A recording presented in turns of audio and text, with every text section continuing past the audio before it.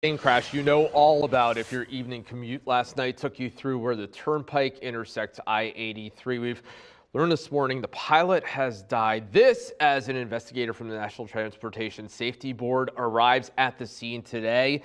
74-year-old Lawrence Sager of Harrisburg died late yesterday afternoon after paramedics got him to the hospital. The crash happened at about 2.30 yesterday afternoon, less than two miles from Capital City Airport. Both people on board the single-engine Cessna went to the hospital. The FAA says the passenger was seriously injured. The truck driver was not injured. Emergency officials say this is not the kind of thing they're used to dealing with, but is exactly the kind of thing they're trained to deal with.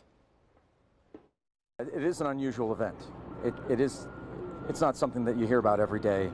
Um, you, you, hope that you don't hear about these things, um, but uh, sometimes they do occur, and it's just good to know that we have uh, all of these first responders here that, that are ready at a moment's notice to respond and, and do everything they can to help people.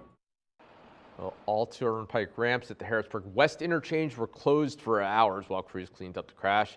Back open now. NTSB investigators could have a preliminary report ready within a few weeks. We are, meanwhile, working to get the surviving passengers updated condition.